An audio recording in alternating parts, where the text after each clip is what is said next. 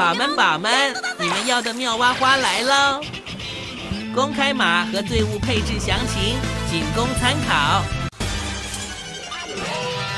对手首发多龙，上啊巨爪怪，用隐形岩。多龙先手的龙剑效果一般，但是击中要害，打了巨爪怪大半血。巨爪怪闻诱果，触发恢复血量，并且成功用出隐形岩。巨爪怪用拍落，巨爪怪还是够肉成功接下了多龙的第二发龙剑。巨爪怪的拍落效果绝佳，打了多龙大半血。巨爪怪速度慢，没有出手权，多龙的龙剑带走了巨爪怪。好机会，那么接下来就决定是你了。围巾君主蛇直接太精化，用飞叶风暴。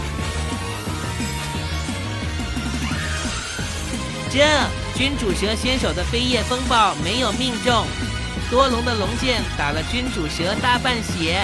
君主蛇继续飞叶风暴，我的天，君主蛇的飞叶风暴再次 miss，蛇姐居然白给，这就很尴尬了。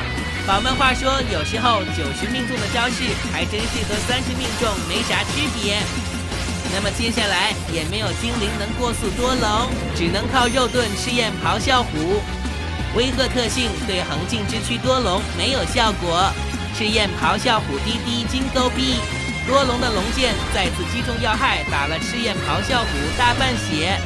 赤焰咆哮虎用滴滴金钩臂带走了残血的多龙。对手第二只精灵是美纳斯，那么回来吧，赤焰咆哮虎。接下来就看我们今天的主角妙蛙花了。美纳斯第一个技能是水流环，妙蛙花用花瓣舞，很好。妙蛙花先手的花瓣舞效果绝佳，秒掉了美纳斯。对手第三只精灵是九尾。漂亮！妙蛙花成功接下了效果绝佳的喷射火焰，反手用效果不好的花瓣舞秒掉了九尾，原来是击中要害了。眼镜妙蛙花配合叶绿素特性还是很不错的。别看妙蛙花长得很慢的样子，速度种族值却有八十。漂亮！妙蛙花先手的花瓣舞直接秒掉了轮琴猫。妙蛙花一穿三。对手第五只精灵是九尾，特性降雪。九尾速度快，先手的急动光线带走了残血的妙蛙花。那么接下来就决定是你了。试验咆哮虎用大晴天，试验咆哮虎接下了魔法闪耀，反手用出了大晴天，很好，任务完成。九尾的魔法闪耀带走了试验咆哮虎。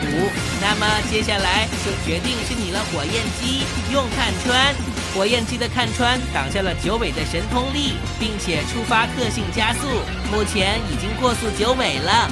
火焰鸡火焰踢，火焰鸡的火焰踢效果绝佳，秒掉了九尾。